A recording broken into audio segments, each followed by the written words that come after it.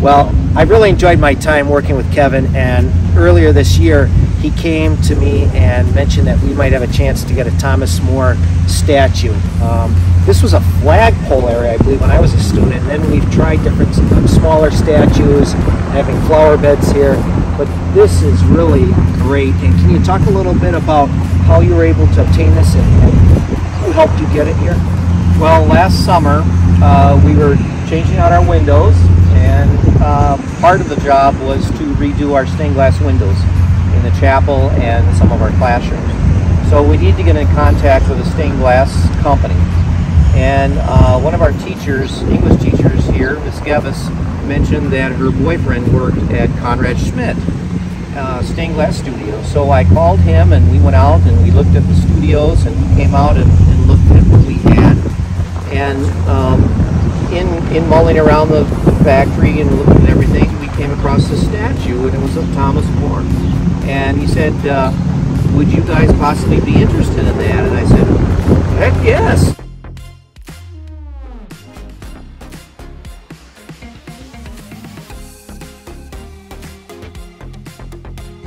They came out with a crane and put it on the slab and our our maintenance guys also poured the, the footing for it. Uh, the price, I tried to get the concrete donated, but uh, that didn't happen. So my own guys, Eric Waka and Tony Main, um, dug it out, poured it, and set it.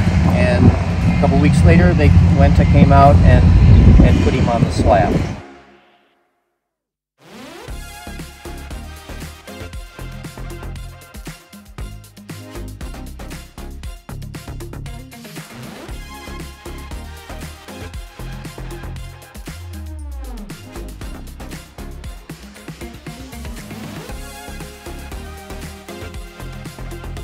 Can you talk a little bit about what you did here?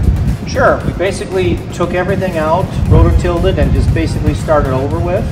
Um, our painter, John Dolby, um, he's really good with not only painting and doing repairs here, but he also has kind of a garden in his own home, and he gave us some tips and pointers on what to do. And uh, so my guys kind of went from there. Um, Eric, Eric Waka and Tony Main and then uh, Dan Cranky, also on our staff, cut and trimmed the back, the back trees and bushes that were going up against the building. And then, so they basically prepped this, and then John came in and um, suggested various perennials to be planted, and then he planted them for us.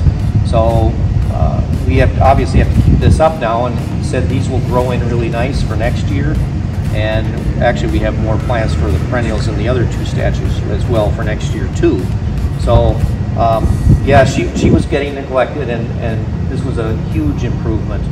And uh, it looks it looks much brighter out here.